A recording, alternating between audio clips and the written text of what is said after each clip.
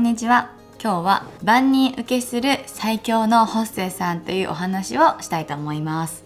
今までノートとか YouTube でも万人受けするような見た目とか万人受けするような接客をした方がいいっていう風なことをお話をさせてもらったんですけど、ま、万人受けってねじゃあどういう人がするのかっていうのを今思いついてることを今日ね全部お話しできたらと思って書き出しております。ここに。うん今ね15個以上はちょっとふーっと思いついたのでそれをねこう一つ一つお伝えしたいと思います。以前前の動画で今までもお話ししたことがあるのでさーっとお伝えできたらと思います。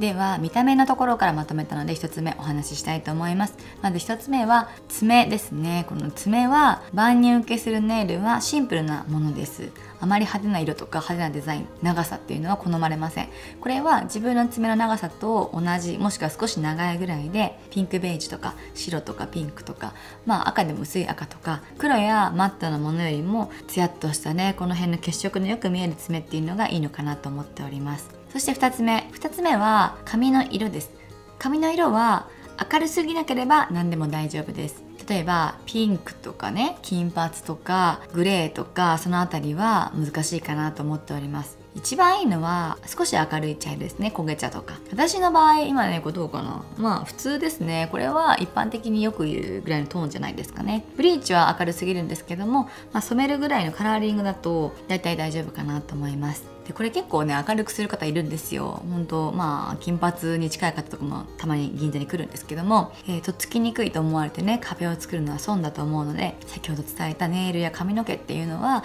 一番無難にしている方がいいと思います。売れてからはね何でもいいんですよ。正直売り上げがあればもうその人のカラーっていうことでまあそのね節度あるものだと何でもいいんですけども売り上げがない時ヘルプっていうのはいかに万人受けして幅広いお客様に自分を、えー、まあ、好きになってもらえるかっていうのが最初大事になるのでこの2つはね地味なように見えて結構ね大事かなと思っております。あそうそう。3つ目なんですけどね。ピアス。ピアスは絶対ね一つがいいと思います。ここに一つまでですね。いっぱい空いてるとちょっとねドン引きするんじゃないかなと。年配のお客様ってねそういうのね見てる方いるんですよね。こう軟骨のとことかこの上とかにピアスあるとあこの子やんちゃな子なのかなとかね。この子ってなんかそういうこう穴開けるの好きな子なのかなみたいな思っちゃうところがあると思うので本当の性格抜きにして見た目でそうやって思われるのは非常に損だと思うのでピアスも一つまでかなと私は思います。そして4つ目。4つ目は体型なんですけど体型は細身がいいです。細身というのは以前もノートでお伝えしてるんですけども身長引く大体110ぐらい。ただ背がね170とかあれば110だとね60キロですし、えー、背が低い方140代だとね体重30何キロになっちゃってこれは現実的じゃないんですけども BMI を19を目指されると一番いいのかなと思います。痩せすぎていなくてでも大体のドレスが入りますね。051525 BMI19 ぐらいが一番見た目はいいのかなと思います。それよりもぽっちゃりしてもね可愛いよって言ってくださる方もいらっしゃるんですけどもでも今回はテーマが万人受けなのでスタイルよく見えるぐらいの、まあ、体型がいいんじゃないかなと思っております。5つ目は日焼けをしていないということです。日焼けは銀座は厳禁です。日焼けをすると怒られます。私のお店でも夏明けると日焼けしてくる女性がいるんですけどもなんでそんなに焼けたのっていうのは見つけたら話すようにしております。日焼けがなんでダメかっていうとまあこれ別に今焼けたって普通だよっていう方もいるんですが日焼けしてると照明も暗いんでもうだんだん黒くなっちゃうんですよね。でもともとの肌の色もあると思うんですけども焼けたっていうのはね明らかに変わる子もいるんですよ。夏をまたぐとめちゃめちゃ焼けてくる子っているんですけども銀座で働くっていうね万人受けっていうことを考えたら日に焼けるっていうのはあまりね苦手な方もいるので日に焼けていない方がお客様にとってはまあ別にそこね気にされないよっていうね万人受けのラインなのかなと思っております。で合わせて6つ目なんですけども6つ目はメイク。これは清潔感あるメイクが大事だと思います。濃すぎるメイクとか厚塗りの、まあ、ファンデーションか下地かちょっとわからないですけどもメイクがやぼったかったりとかあと眉毛がちょっと薄かったりとか濃すぎたりとかつけまつげつけたりとかそういうねこう細かいこともいろいろあるんですけども清潔感のあるメイクが一番良いです。これも男性から見てこれちょっとな濃いなって思われたらやっぱ損なのでそのあたりは身だしなみの一つとして土日はどんなメイクしてもいいんですけどもお客様に会う時は自分のね個性をそこでは出さずに万人受けけという視点からは一番気に入ってもらえそうな標準的なメイクをするのが良いのかなと思っております。先ほどまでは見た目とか容姿、えー、身なりのことについてお話ししたんですけどもこれからは接客中のスタイルで万人受けするタイプをお伝えします。では7つ目なんですけども7つ目はいつも笑顔ということです。笑顔っていうのは、うんまあ、接客中ね相づち打たない子とか人の話を聞いてない子いるんですよ。もうまさかと思うと思いますが全くねこううんともすんとも言わない子もいるのでやはり何かを作ってる時ねお酒作っていたり自分が話しかけられてない時も「うんうん」とか何か頭でこう相づち打って何かあればいつも笑顔っていうのが大事かなと思います。本当ねこう仕事中あと女性のこうね顔を見てると無表情の人多いんですよね。無表情って本当ねちょっと怖いというかニコニコしてるのが絶対可愛いのにこう口角上げてうんこれが一番大事かなと思います。でそれと結構似てるんですけども8番目8番目は姿勢猫背にならない。猫背多いんですよ。もうね猫背がほんと多くて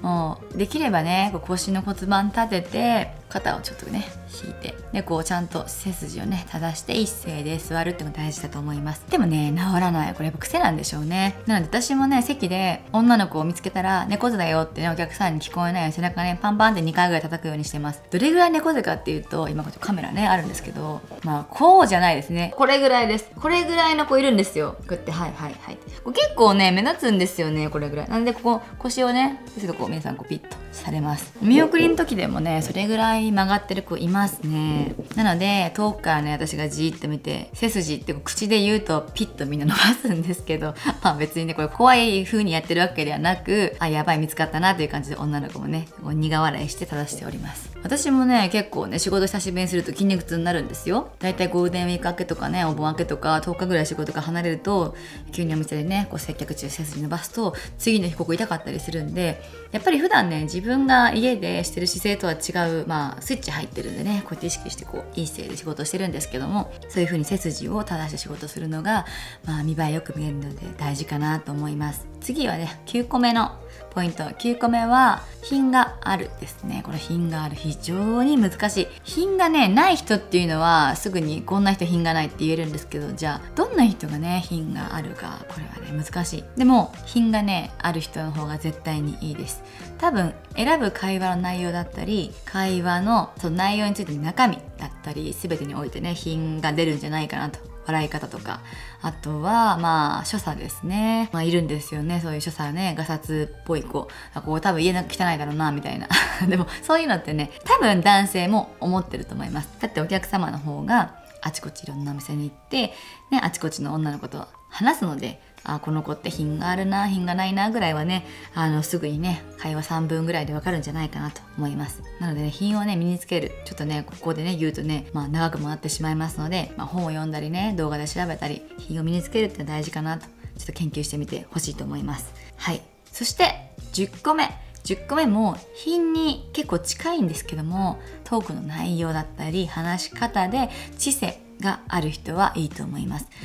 これも品に続き知性教養っていうとねもう本当じゃあ一体どうしたらいいんですかって質問箱いただくんですけどもこれも難しいですね、まあ、本読んだからね知性が身につくわけでもないんですけどもただ本を読んでみてこういうことをすれば品が身につくから教養が身につくから実践しようって気持ちは大事かなと思います。読むだけで改善することはないと思うんですけども読んで心がけて気をつけるっていうこの日頃の積み重ねで、えー、そういう所作なり教養なり知性っていうのを身についていくんじゃないかなと思います。うんまあこれ会話一つ取ったら分かりますね。だいたいお席で5分ぐらい話してるとこの子の言ってることはなんてしょうもないんだとかね。この子普段からこんなこと言ってんのかなとか結構ありますね。でそれってお客様がね楽しんでる楽しくないっていう問題ではなく楽しんでてもお客様がねレベルを合わせてくださってると思うんですよ、その女の子に。で、いやー、あの子ってほんとね、こうだよねっていう心の中の感想をね、持ってても多分、まあ、万人受けっていう今回のテーマで言うと、いろんなお客様100人がいたら、まあ95人ぐらいに良しとされる内容っていうのは、そういうね、知性がある内容だと思うんですよね。まあ、あいつ面白いなとかね、あの子変わってるなっていうキャラで行きたいんだったらいいと思うんですけども、今回ね、その新人でね、とか、これから銀座でやっていきたいっていう方だと、別に最初からね、変わってるキャラになる必要もないと思うので万人受けを目指すには知性とか品があって教養がある会話が大事かなと思っております。で11個目なんですけども11個目は敬語が使えるということです。敬語が使えない子が結構多いです。私自身も別にね使える方ではないんですがただ相手の方を立てるお話の仕方っていうのはトレーニングで身につけられるところなのかなと思います、えー、まずですね実際にあった話で言うとお席で女性がお客様とお話ししていて相づちを打つ時にまあはいはいえー、そうなんですかはい。まあこれ普通だと思うんですけどもその時ですねうんうんえー、そうなんだうんって言った子いたんですよ。私はもうすぐ席立ってスタッフに、まあ、あの子ちょっと敬語喋れないから今から注意してって、まあ、席抜いてやるんですけどもやっぱりその聞いててねヒヤヒヤしますね。お客様友達じゃないのでやはり返事は「はい」だと思うし「まあ、そうなんですね」っていうね語尾に「ですね」ってつけたりね。それ大事だと思うんですけども「はいはいそうなんだ」って言うともうこれ本当もうお客様もちょっとピクッと思ってても出さない方もいらっしゃるしそれを好んでは銀座に来ないですよね。そういうフレンドリーな接客してもらいたかったら別によその、まあ、例えばね街に行ってね、まあ、例えばキャバクラに行ってもいいですし何でもいいんですけどもやっぱクラブに飲みに来てるっていうプライドがある方だと、えー、そうなんだって言われるとえー、嫌だなと感じることも多いんじゃないかなと思います。他にもね何かあった気がするんですよね。あ省略する言葉使ってる子いるんですよ。年賀状でね明けましておめでとうございます。今年もよろしくお願いします。これはね名誉の人に言えるんですよね。ただこれを明けおめことよろとは上司に送らないじゃないですか。やっぱ省略するとね失礼に値すると。これと同じように何かをね省略してお客様にしゃべるっていうのはね非常にね良くないのかなって思っております。でもう普通になってる言葉だとねまああることもあるんですよね。ただその子が言ったのはちなみにってていう言葉を、えー、チナって言った子がいまして、えー、チナそれねって言ったんで私はおそれや待ってよと。やばいなと。ちなみにそれ私ねっていう略ね。チナそれねって言ったんで最初私その子のことを顔と名前覚えてなかったんで一人称私じゃなくてチナっていう子なのかなってちょっと思ったんですけどもよくよく話聞いてるとチナちゃんではなくちなみにの略だったんですね、まあ、これは後で後ろにね説教する原因になったんですけどもそういう風に、まあ、結構ねあの敬語を使えないもしくは自分が使えてると思って、えー、自分の間違いがわからからないっていう方が多いのでそのあたりねきちんと敬語使えた方が万人受けするんじゃないかなと思っております。はい。で12個目。12個目はちょっとね言葉とか喋りからちょっと離れて接客に戻りたいと思うんですけども飲める。